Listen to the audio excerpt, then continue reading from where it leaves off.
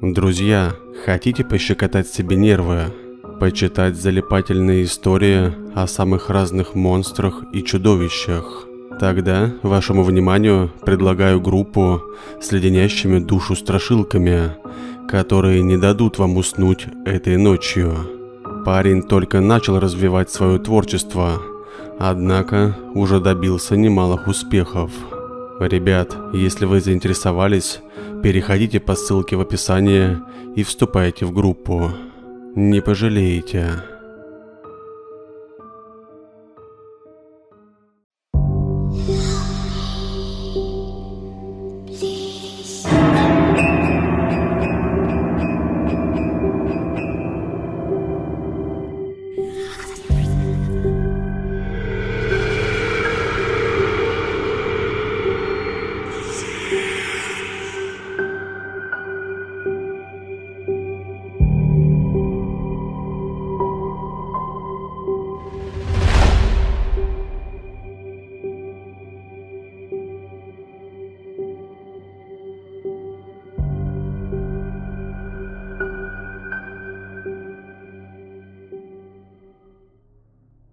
Квартиры такого типа риэлторы между собой называют карцер.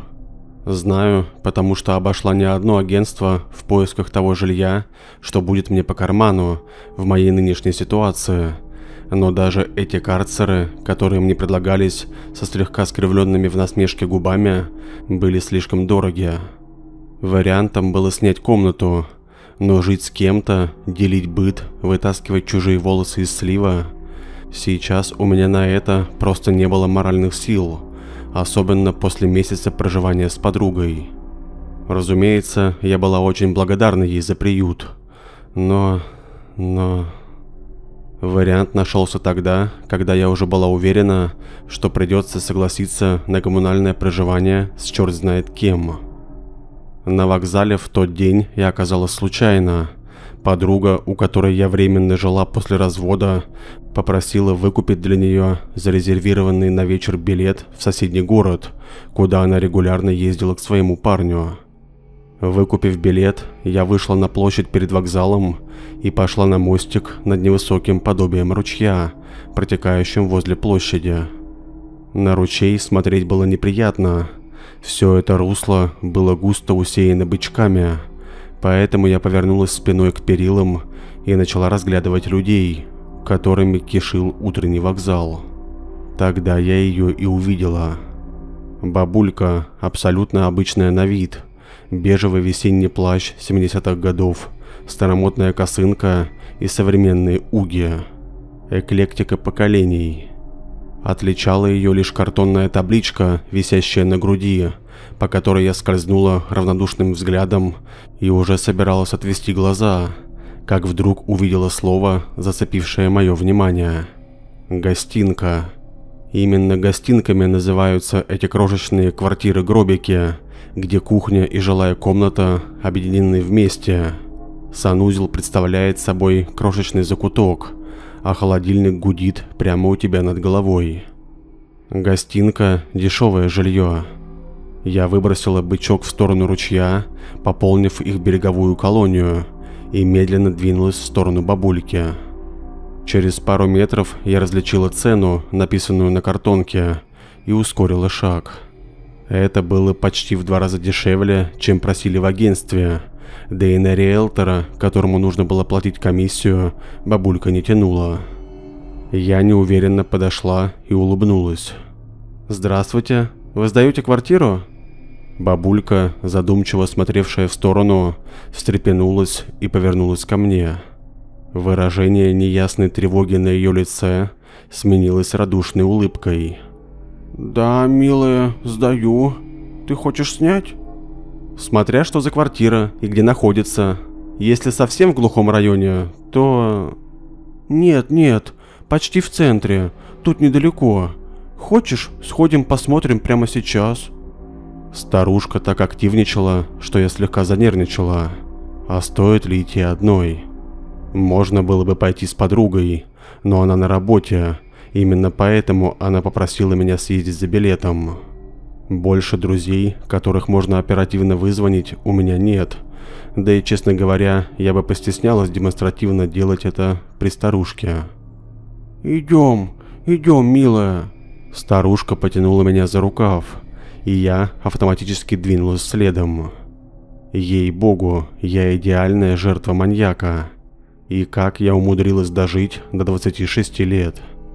По пути в квартиру я вспоминала случаи из криминальной хроники про подставные квартиры, про людей, которых заманивали в логово бандитов, про проданных в секс-рабство женщин и милую питерскую бабульку, что травила и расчленяла своих квартирантов. Остановилась ли я? Нет. Я послушно шла за старушкой, даже с некоторым интересом ожидая, что будет дальше. В последнее время я стала фаталисткой. Когда мы оказались перед ветхой Сталинкой в старом центре города, я испытала странные эмоции. С одной стороны, дом выглядел жутковато, но с другой, на логово мафии он не слишком походил. Мысленно перекрестившись, я ступила за моей проводницей в темный, пропахший мышами и мокрыми тряпками подъезд. «Тут невысоко, третий этаж», пропыхтела бабулька, с трудом преодолевая лестницу. Мне бегать по этажам было не привыкать, поэтому я терпеливо ждала ее на каждом пролете.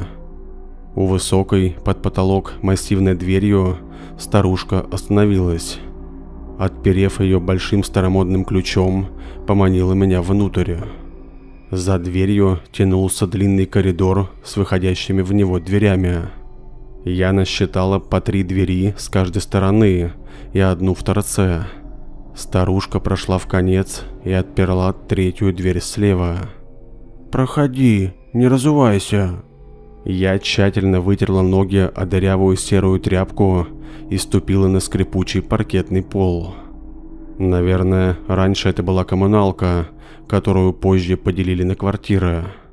Внутри меня встретило именно то, что я ожидала увидеть. Крошечный закуток, служащий прихожей, не имел двери, и темнота, царившая там, заставила меня как можно скорее пересечь его и войти в комнату. Она действительно оказалась крошечной, метров десять, не больше. Длинная, как трамвай, комната тянулась к рассохшему окну, которое венчало торец комнаты и напоминала отверстие на конце подзорной трубы. Квадратный выступ с дверью, который и образовывал прихожую, действительно оказался санузлом.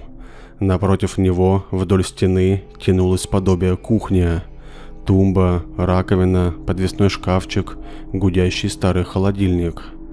За выступом располагался старый красный диван, напротив которого расположилась тумба с телевизором. Хозяйка, которая смущенно поглядывала на меня, быстрым шагом пересекла комнату и быстро клацнула пультом, что лежал на тумбе. «Ну, вот». Она развела руки, обводя окружающую обстановку. В ее голосе не было никакой надежды, только смущение, и это кольнуло меня.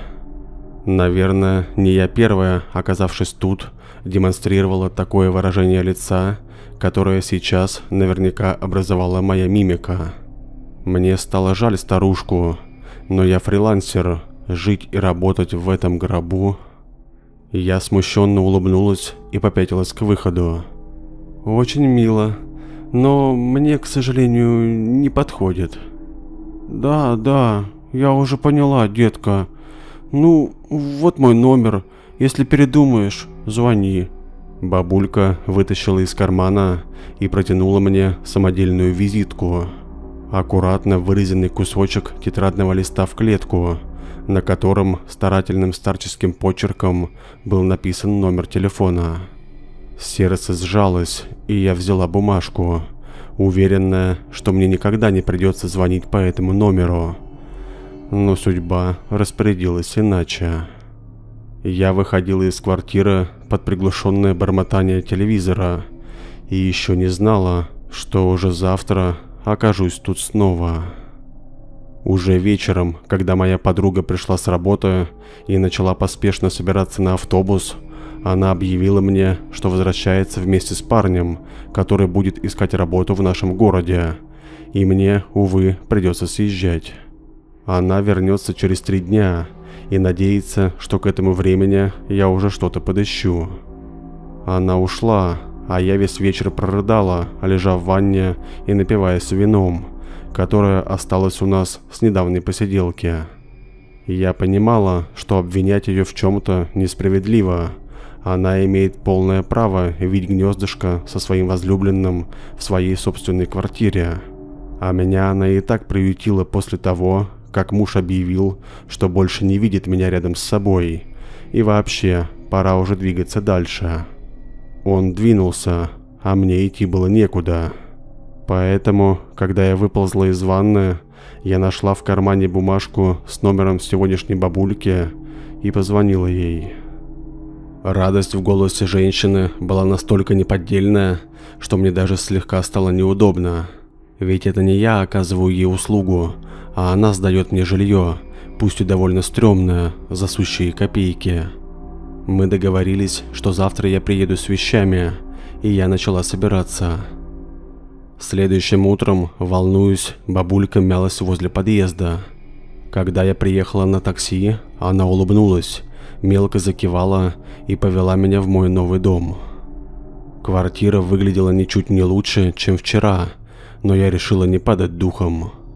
Мое покрывало на диван, мои занавески, пара репродукций, и тут станет гораздо уютнее.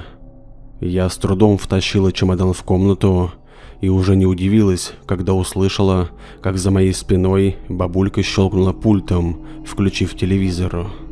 Некоторые люди не переносят тишины, но я никогда не была из их числа. Мы наконец-то познакомились. Бабулька, назвавшаяся Анастасией Павловной, села за узенький столик, расположившийся возле тумбы с телевизором, и дрожащей рукой переписывала мои данные из паспорта в договор о найме пока я задумчиво ходила по моему новому жилью, трогала мебель и стены. Включила роутер, который, как оказалось, висел в прихожей. Заглянула, наконец, в санузел. Он оказался чуть лучше, чем я представляла, и даже имел узкую стиральную машину, зато не имел умывальника. Душ представлял собой вымощенную плиткой угловую площадку с бортиком, закрытую занавеской. Проверив, работает ли душ и есть ли горячая вода, я вернулась в комнату. Бормотание телевизора слегка начинало раздражать. Я подписала документы, и хозяйка начала поспешно собираться. Я подошла к окну, отодвинула плотную штору, наполовину закрывавшую окно, и удивленно отпрянула. За тюлевой занавеской я увидела рассохшееся деревянное окно, забранная снаружи решеткой. Я обернулась. «А зачем тут решетка? Это же не первый этаж». Анастасия Павловна нервно улыбнулась. «Я не знаю. Это квартира моей покойной сестры. Я тут ничего не меняла». Я почувствовала, как по позвоночнику пробежала легкая дрожь. Мне стало тревожно. А от чего она умерла? Не глядя на меня, хозяйка обувалась. Она не здесь умерла, не переживай, живи спокойно.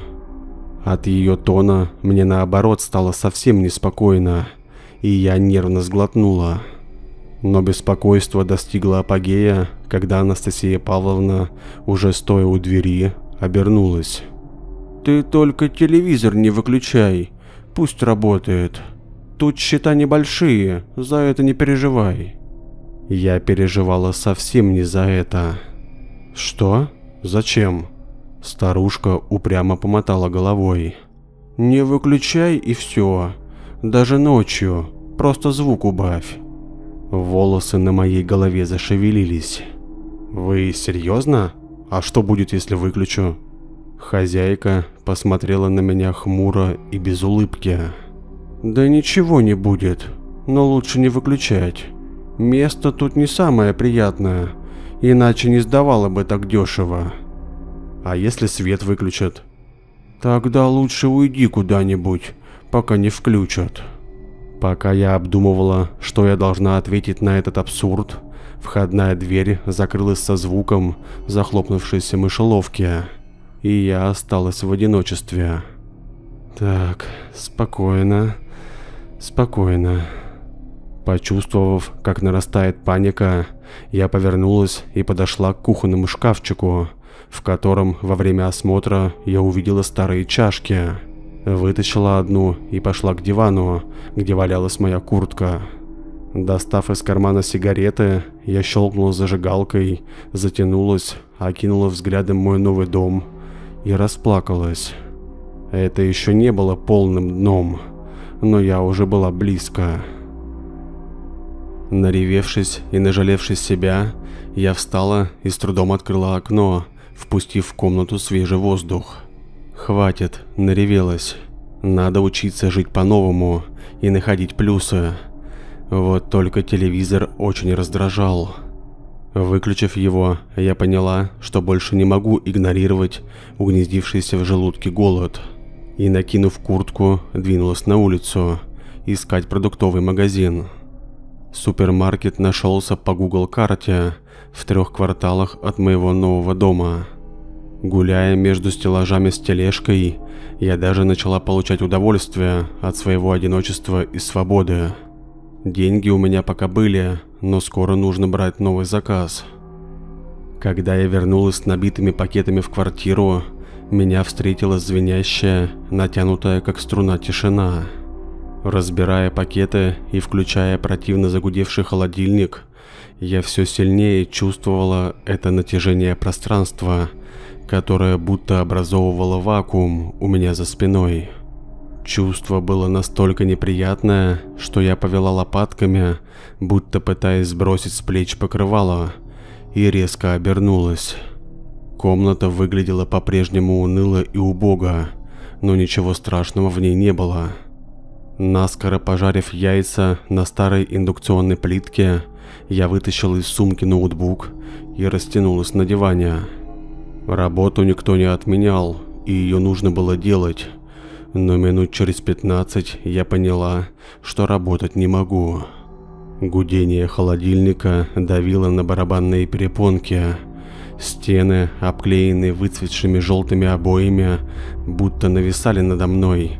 В грудь начал заползать страх. Поежившись, я потянулась за пультом и клацнула кнопкой. Комнату заполнила мелодия заставки какого-то телешоу – и напряжение меня отпустило. Может, хозяйка имела в виду именно это, когда советовала включить телевизор. Раньше я всегда работала в тишине, но теперь мне пришлось делать это под приглушенные голоса из телеящика. Телевизор раздражал, но без него было еще хуже, и постепенно я так увлеклась работой, что совершенно забыла про него. Когда я наконец отложила ноутбук, в комнате уже почти стемнело.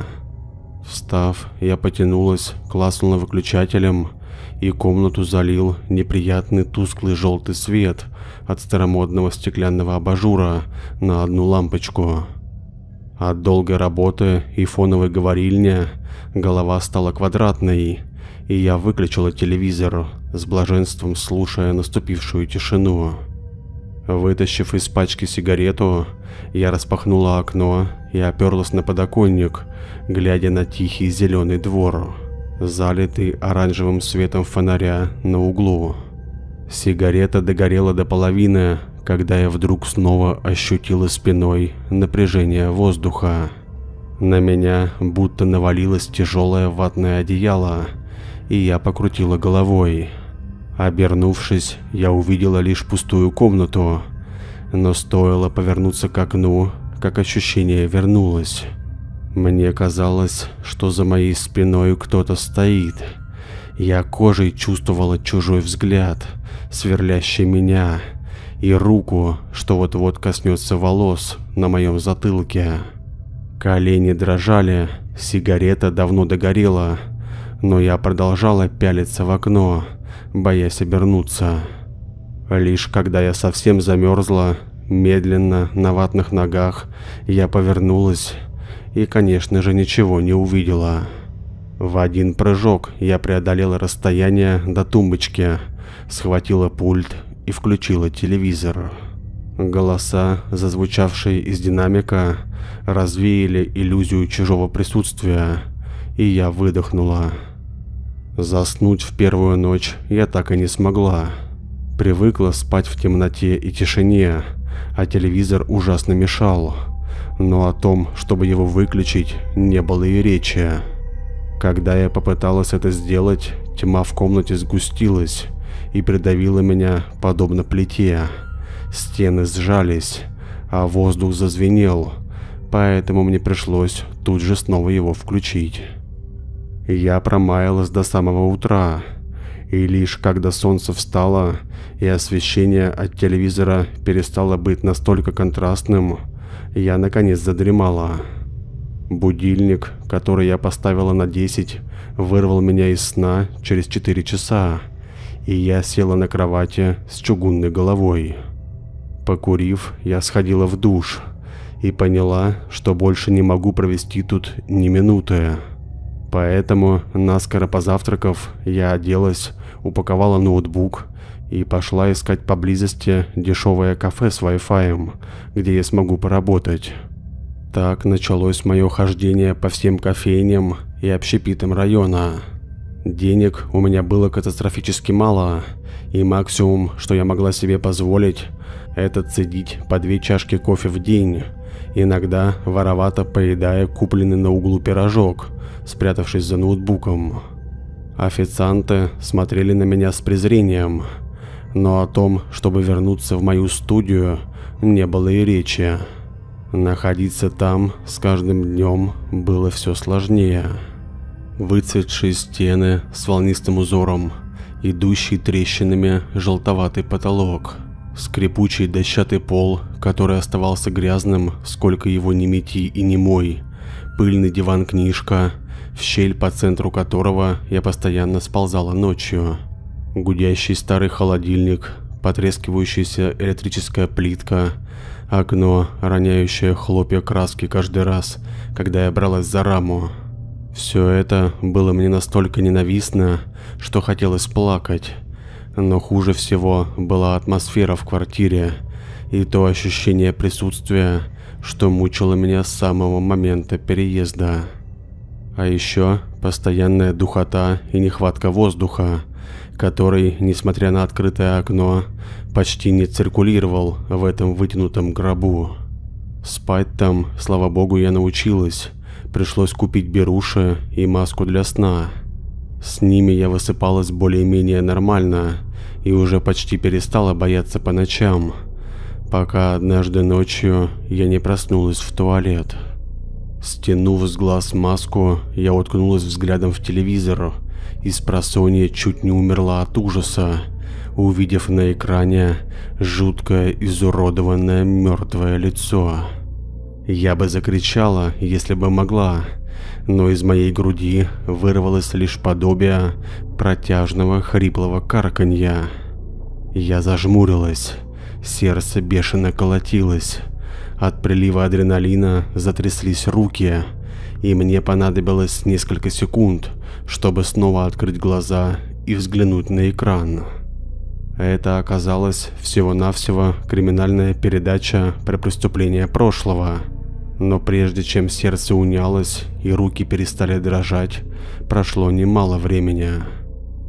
Когда я была маленькой, мне дважды или трижды снился один и тот же кошмар – я была пугливым ребенком, боялась фильмов ужасов и книжек со страшными обложками. И сон, который я видела несколько раз, был таков.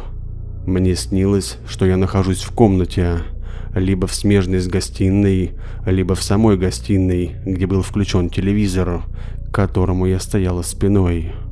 Я знала, что по нему показывают что-то невыносимо тошнотворно страшное – Настолько страшная, что лишь одна мысль о том, чтобы взглянуть на экран, наполняла меня ужасом. Родители во сне спокойно смотрели эту жуть и не реагировали на мои просьбы выключить, а я никак не могла выйти из комнаты, не повернувшись лицом к телевизору и не увидев то, что он транслировал. Мраморные шарики, Что это значит? Словосочетание вселяло в меня такую сильную жуть, что увидеть это казалось равносильно смерти. Я просыпалась в холодном поту, и несколько дней после этого сна проходила мимо телевизора с внутренним напряжением. То, что случилось, странно перекликалось с моим детским кошмаром, и я дрожала от страха, когда мыла руки после туалета. Я уже давно решила, что съеду отсюда сразу же, как только найду что-нибудь. Но вариантов по-прежнему не было. Даже нормальных комнат не попадалось, а идти мне было некуда. На утро я позвонила хозяйке. Не знаю зачем, просто хотелось поговорить с ней про квартиру. Но она не взяла трубку. Почему-то я этому не удивилась. А через несколько дней случилось то, о чем я спрашивала тогда, в самый первый день. Что будет, если свет отключат? Вечером я вернулась из очередного кафе, голодная и продрогшая. Поставила воду, чтобы закипятить макароны. Телевизор я включала почти с порога. Завела привычку не расставаться с пультом. Я уже знала все вечерние телепрограммы, сериалы и шоу на всех каналах, что ловила антенна, провод от которой уходил в отверстие в стене наружу. Макароны уже начинали закипать, когда лампочка, уже более яркая, замененная мной, вспыхнула еще ярче и погасла. Телевизор с холодильником, разумеется, тоже потухли, и я на миг застыла, как статуя, слушая затихающее бульканье в кастрюле. Когда вода стала неподвижной, меня придавила такая тишина, что я автоматически коснулась ушей, проверяя, нет ли в них беруш. В сердце узким ужиком мгновенно заполз ужас, все ширясь и разрастаясь, подобно опухоли. На ватных ногах я подошла к смутно светящемуся в темноте окну и выглянула наружу. Соседние дома, двор, все было залито чернильной темнотой. Блэкаут на весь наш маленький район. Затылком я почувствовала уже знакомый взгляд, а моей шее будто коснулись невесомые пальцы. Я почувствовала, что мне не хватает воздуха, но обернуться было гораздо страшнее. Я судорожно пыталась дышать и собиралась силами, чтобы повернуться, схватить куртку, которую я кинула на диван, когда пришла, и в три прыжка оказаться у двери. Но внезапно за моей спиной послышалось шипение и громкий щелчок, который выбил остаток дыхания из моей груди коротким вскриком. Я обернулась и увидела, что телевизор включился.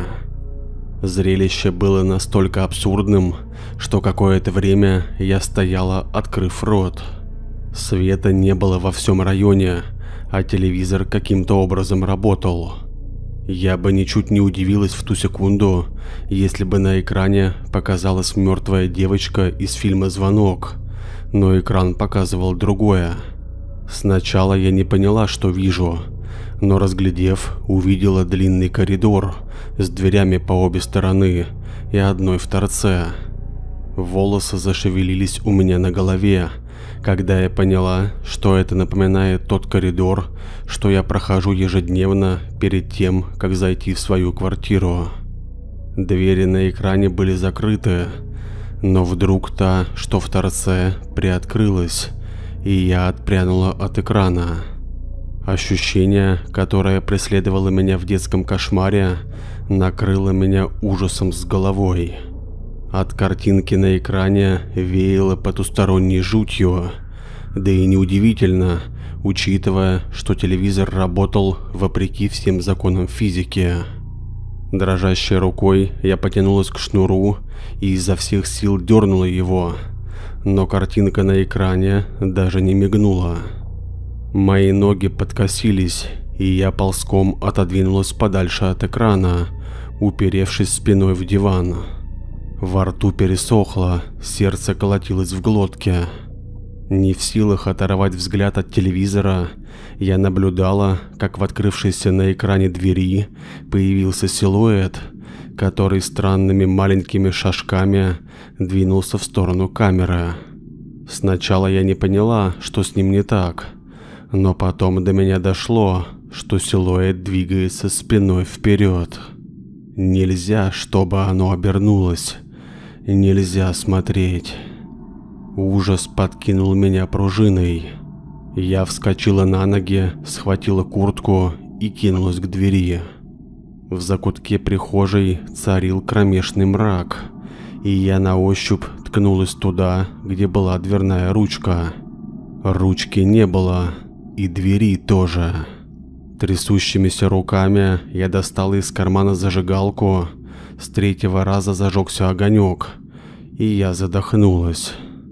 Двери не было. На ее месте была все та же оклеенная желтыми обоями стена. Я попятилась и принялась вводить зажигалкой вдоль стен, пока она не обожгла мне пальцы и я не выронила ее. Двери не было, ни единого следа. Более того, дверь в санузел тоже пропала. Я бросила беспомощный взгляд на телевизор и торопливо отвернулась, видя, что существо на экране все приближается, постепенно заполняя собой все пространство. Если оно обернется, если оно обернется. Паника подхлестнула меня, и я, не думая ни о чем, кинулась к окну. Дернула оконную раму, вздохнула ледяной воздух, вскочила на подоконник и... Решетка. Чертова решетка. Вот зачем она здесь. Я беспомощно вцепилась в прутья, понимая, что не могу протиснуться сквозь нее. То, что живет в телевизоре, то, что отгоняет глупые телешоу и мыльные оперы, было все ближе. Я чувствовала его за спиной. Не дыхание, потому что оно не дышит, и не прикосновение, потому что оно не может коснуться. Я чувствовала лишь ужас, который заставил меня сжаться в комок и упереться лицом в прутья решетки. Может, если я навалюсь на нее, оно выпадет? Что будет со мной, думать не хотелось. Тьма расступилась за моей спиной. Я увидела отблески экрана. Я знала, что если обернусь... Мраморные шарики. Мраморные... «Эй, что с тобой? Помощь нужна?» Голос ворвался в мой мозг так внезапно, что я на секунду даже не поняла, что услышала. Разлепив зажмуренные глаза, я посмотрела вниз. Под моим окном стоял мужчина, одетый в куртку с капюшоном, которого я вроде бы несколько раз видела во дворе из своего окна. В его руке тлела сигарета. Я судорожно всхлипнула и полезла в карман куртки, нащупала ключи, разжала пальцы, и они упали на асфальт под окном. «Пожалуйста, 33-я квартира. У, меня что-то с дверью». Мой голос прерывали всхлипы, но когда мужчина поднял ключи и задрал голову, меня будто прорвало. «Вытащи меня отсюда! Вытащи, прошу!» «Только не смотри на телевизор!» Закричала я и, закрыв глаза, разрыдалась. Сияние экрана за моей спиной стало таким ярким, что я буквально чувствовала его затылком. Быстрее, быстрее. Не знаю, сколько времени прошло, прежде чем я услышала удар за моей спиной – и через минуту сильные руки сдернули меня с подоконника. Что-то пробормотав, сосед сгреб меня в охапку и потащил прочь из квартиры, как пожарные выносят людей из огня. Я зажмурилась, но когда мы были в прихожей, все же приоткрыла глаза, как Лотова жена, и краем глаза увидела комнату. На мое счастье, холодильник с этого ракурса закрывал телевизор, И прежде чем я увидела экран, я снова закрыла глаза. Второй раз я открыла их только тогда, когда запах подъезда остался позади, и я почувствовала свежесть осенней ночи. «Ты как? Все нормально?» Сосед подвел меня к лавке и усадил на нее. Я по-прежнему держала куртку, вцепившись в нее омертвевшими пальцами. Но посмотрев на его силуэт в темноте, заливавший двор, немного пришла в себя и разжала руки. Осторожно натянув куртку, я достала из кармана сигареты. Не говоря ни слова, сосед чиркнул зажигалкой. Какое-то время мы молча курили. Я не знала этого человека, но он только что спас меня. От чего? Что вообще произошло там? Это было сумасшествие? Галлюцинации? Как ему это объяснить? Я заерзала, и сосед протянул мне руку. «Кстати, я Владислав». «Карина». Я пожала его ладонь, и мы снова замолчали. Наконец, я собралась силами. «Владислав, спасибо вам. Я не знаю, что сказать. Там произошло нечто странное. Не знаю, как объяснить. Я не наркоманка, не подумайте только... Да я и не думаю. Об этой квартире все соседи знают. Владислав щелчком пальцев отправил бычок в кусты. Я повернулась к нему. Что знают? Ну, тут женщина одна жила несколько лет в возрасте, одинокая. Сестра той, что теперь квартирантов вроде тебя приводит. А однажды она выпала в окно и сломала шею. «Она не здесь умерла, не переживай». Вспомнив слова хозяйки, я невольно усмехнулась. Да, она умерла не в квартире, тут ничего не скажешь, не солгала. А потом... А потом въехал ее сын, который, оказывается, у нее был, и через три месяца то же самое. Тоже выпал из окна. Выжил, но вроде позвоночник сломал, инвалидом стал. Вроде как тетка за ним и ухаживает теперь. Я подробности не знаю. То у наших бабулек местных спросить надо. А решетку вставила Анастасия Павловна, да? Это хозяйка нынешняя? Да, она. Сдавать начала эту конуру, но все квартиранты больше месяца не задерживаются. Уж не знаю, что с этой квартирой, но что-то там творится явно. Все сбегают сами не свои. Вот и ты. Холод пробирался под куртку, и я зябко поежилась. Там что-то с телевизором. Ты видел, что... Я обернулась, чтобы посмотреть на окно своей квартиры, но не нашла его. Телевизор больше не работал. Темнота, накрывающая двор, стала еще гуще. Я повернулась к молчащему Владу и увидела, что он сидит ко мне спиной.